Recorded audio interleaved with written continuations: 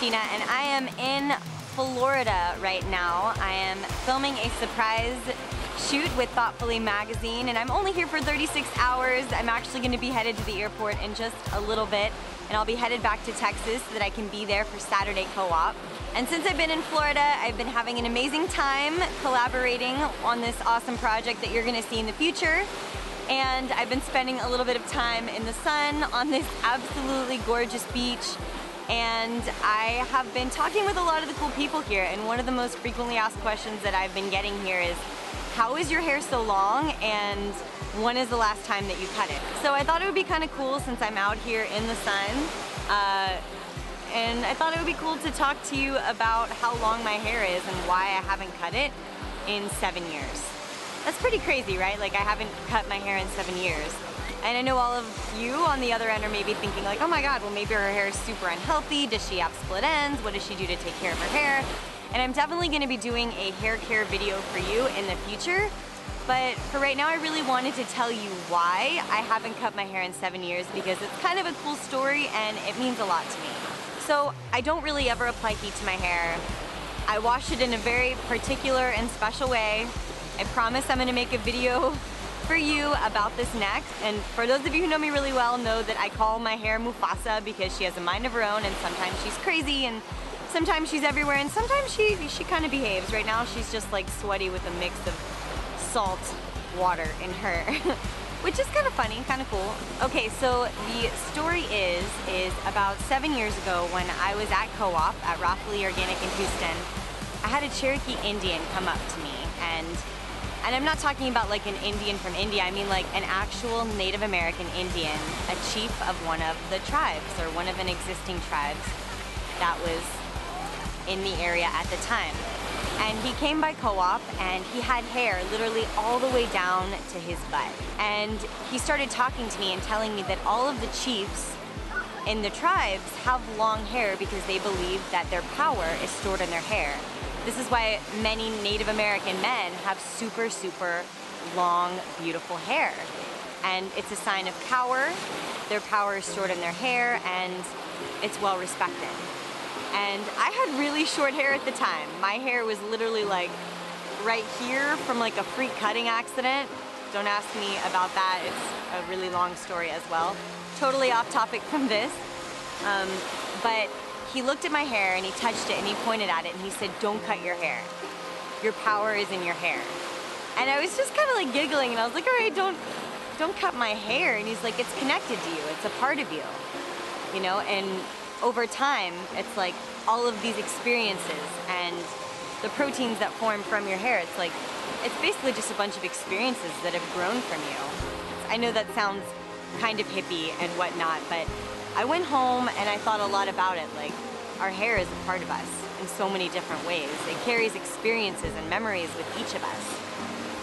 And literally like a week later, the movie Avatar came out and I don't know if you guys remember this, but in the movie, they would connect their hair to like trees and horses and flying birds and they called it the bond right? And I just thought it was the coolest thing ever because when I saw that, I was like, I want to have that bond. I want to be connected with earth and nature and with myself and I want to feel like I'm coming into my own power.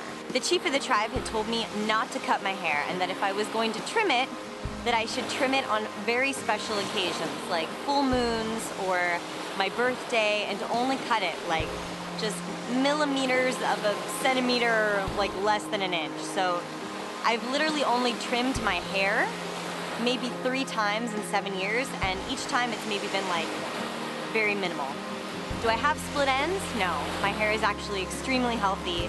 I use my fully raw body butter on it, I put coconut oil on it. Every single method that I use to shampoo or moisturize my hair is extremely natural, it's organic. I take really good care of my hair, but I also just let her free and let her do her thing. Um, kind of like I'm doing right now. My hair is literally down to my butt. It's longer than the length of my arm. It's pretty long. so after that week of meeting the Cherokee Indian and seeing Avatar, I decided that I wasn't gonna cut my hair for a while, and that while ended up turning into seven years. I can't say that I'm not gonna cut my hair for the rest of my life, because I may, But right now I'm just interested in trimming it and letting it grow and be full and beautiful because I feel like it's also an expression of me, Kristina. You know, I, I see my grandmother's hair coming out of me when I look at it sometimes. I see, you know, my Ecuadorian blood, I see my Lebanese blood, and um, it's just become a part of me. So that's the story of why I have not cut my hair in seven years. All that being said, I'm glad that you decided to watch this video and know that story. I'm gonna be headed back to Texas tonight for those of you who want to know, here's a little bit more of what I've been doing in Florida since I've been here. Just a sneak peek that you guys will be able to see later. I am actually in Florida right now on set for Thoughtfully magazine. I'm so excited about this. I'm having a super amazing time already even though I've only been here for like five hours. I woke up at 4 a.m. to get on a flight here and I was literally just in LA a few days ago. We're gonna check out some cool outfits, we're gonna go to the beach, we're gonna have fun. Are you ready? Let's go.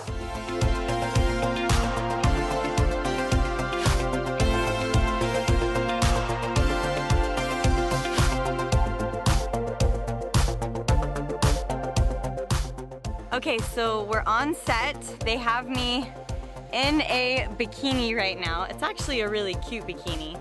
But um, so we have the team here of Thoughtfully Magazine. Hello, this is Brandy. Hi everyone. She's the editor-in-chief of the magazine. Can you tell us a little bit about your awesome magazine?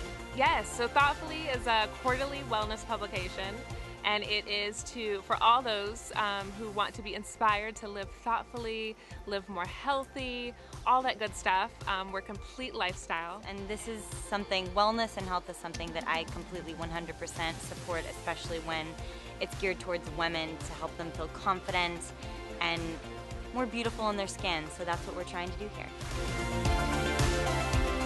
It is so beautiful out here. I love it on set. And I'm kind of getting hungry. Maybe for later. We'll see. All right, on to the next one.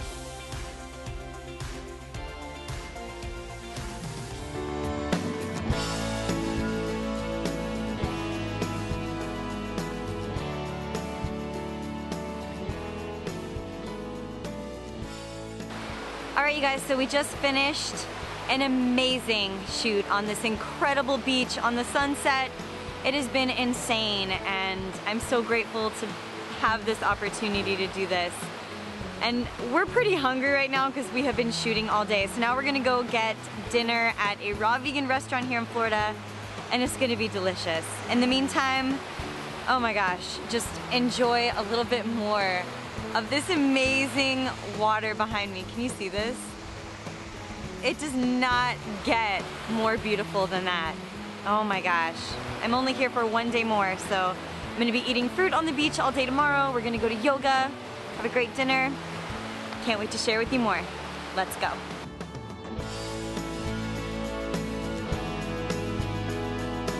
So we just found this absolutely adorable raw vegan restaurant in an Airstream called Raw and Juicy. It is so cute and me and Brandy right now um, are having a raw vegan dinner. I know it's not focusing but I got this drink called the Love Bomb or a chlorophyll love bomb. It's basically a ton of greens with lime and ginger. It is so good. And I got some raw vegan spring rolls. Yum. So now we're just gonna sit out here, listen to music, and eat up. Okay.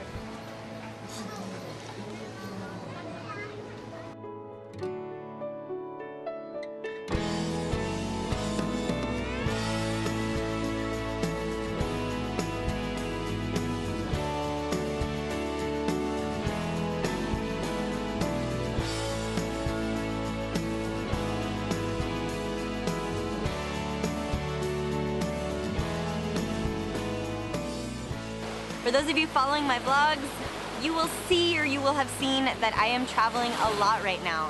I was literally just in LA earlier this week, I'm in Florida right now, and I'm gonna be in San Francisco and in San Diego next for my book tour. And I would love to meet you. If you haven't already bought your tickets for the events, buy your tickets. I'm gonna be adding in five cities pretty shortly We're gonna be adding in Miami, New Orleans, Denver, Chicago, and Los Angeles, so keep an eye on the events page for that. I'm so excited that you guys have decided to watch this video about why I chose to grow my hair long. If you liked it, please give this video a thumbs up and comment below and let me know what you think. If you guys need more tips, tricks, recipes, or inspiration on how to go fully raw, please subscribe here to Fully Raw Kristina as we have an amazing time getting healthy together. If you guys want to follow me daily, you can also find me on Facebook, Pinterest, Instagram, and Twitter, all at Fully Raw Kristina. All right, you guys, I'm about to go and jump in this amazing ocean. And I hope that you guys get to go and do the same. If you're by an ocean, jump in your ocean. Can't wait to see you in my next video, and I'm sending you all my hugs and my love. Bye.